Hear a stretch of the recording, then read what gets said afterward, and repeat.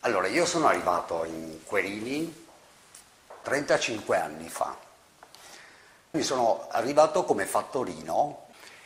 quindi come fattorino piano piano, a quei tempi si faceva una mostra l'anno, un convegno, la presentazione di un libro l'anno e poi piano piano le attività culturali hanno iniziato a prendere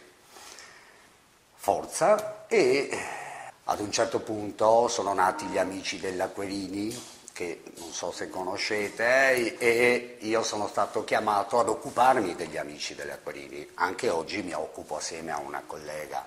e al dirigente degli amici delle Acquerini. Quindi tantissime cose, tantissimi lavori. Per quel che riguarda le mostre, sono un po'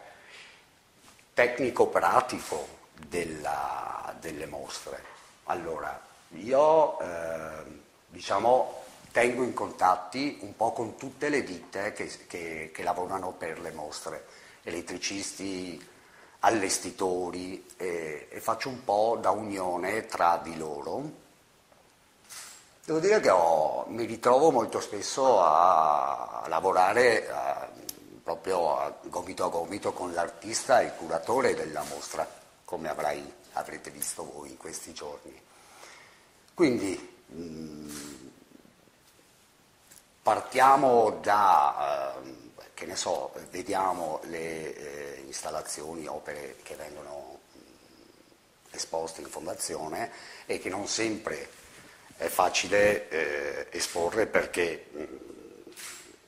adesso mi viene, mi viene, in mente eh, i neon che abbiamo nella prima sala vicino al portego. Ecco, quella era un'installazione che era appesa a soffitto, per dire, e dovevamo metterla a parete, quindi cambia tutto il tipo di eh, attaccaglie e, abbiamo, e, ho cominciato a studiare come poter mettere per esempio quei tubi in vetro eh, e che dessero, perché questo era quello che voleva poi Anita, e dessero la stessa impressione che davano da soffitto, tenerli se, mh, larghi dalla parete e quindi abbiamo, ho cominciato a pensare come per esempio eh, avere la stessa situazione del soffitto pur avendoli sulla parete, quindi